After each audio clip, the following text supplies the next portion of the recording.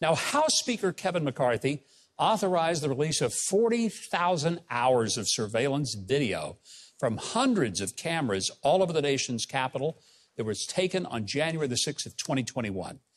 The tapes were initially shared with producers from the Tucker Carlson show on Fox News, who, after a few weeks of sifting through what was many hours of just empty hallways and facilities, well, they put together a very revealing compilation of previously unseen footage. Now, to say the reaction was explosive is an understatement. Predictably, Democrat Senate Majority Leader Chuck Schumer and Democrat California Congressman Camera Hog and all around professional liar Adam Schiff predicted that simply viewing the actual events from that day would somehow mark the end of civilization as we know it.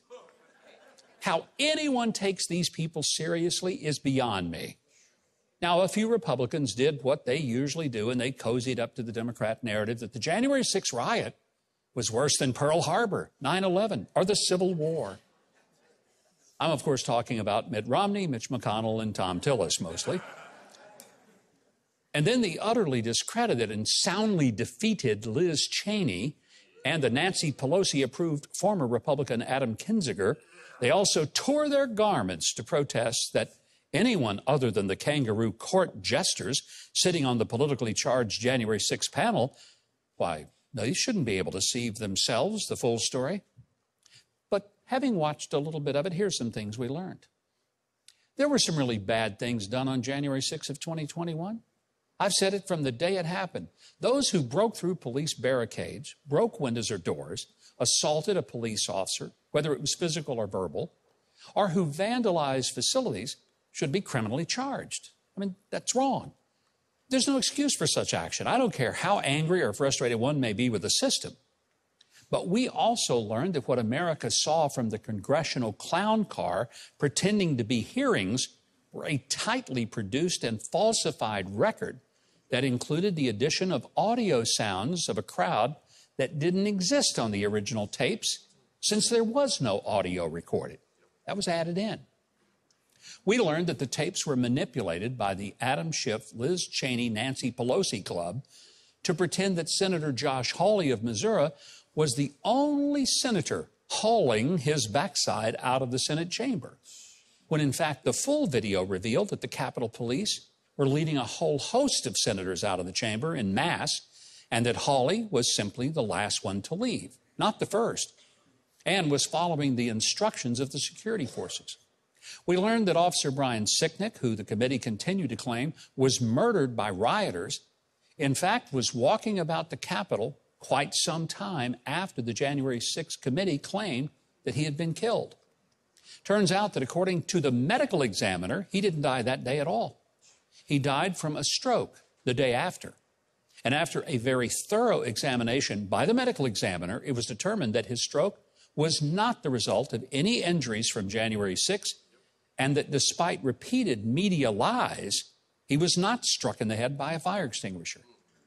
We also learned that the mysterious Ray Epps, who is seen urging people to go into the Capitol and giving instructions to a number of people about breaching the Capitol, we found out he lied to the January 6th committee.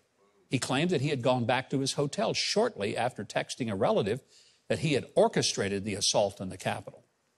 He was, in fact, caught on video, still very much at the Capitol, long after he claimed that he had left to go back to his hotel.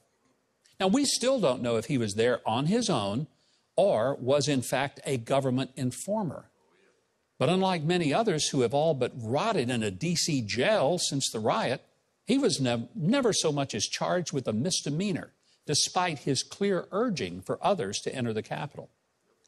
There is much yet to uncover about that day, but here's a few things we know for sure. Number one, the media repeatedly lied when it said five police officers were killed by rioters that day.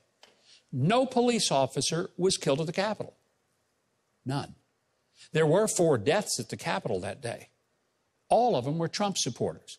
Two died of heart attacks, one from an accidental overdose and an unarmed Air Force veteran by the name of Ashli Babbitt was shot and killed by a Capitol police officer who was never even reprimanded for the shooting. Number two, the January 6th committee didn't show video of the event as they happened. They hired a former ABC producer to create videos that were very carefully and very selectively edited and in which sound effects were added for dramatic effect. Look, this was never an investigation. It was a slick TV show. Number three, there were absolutely bad actors that day who did criminal things and should be held accountable. But hundreds, thousands of others were charged with various crimes who didn't even go inside the building. People like Brandon Straka, who has been on our show several times. And for most, the charges were ultimately dropped or maybe reduced to misdemeanors, but not before ruining many of the lives of those people.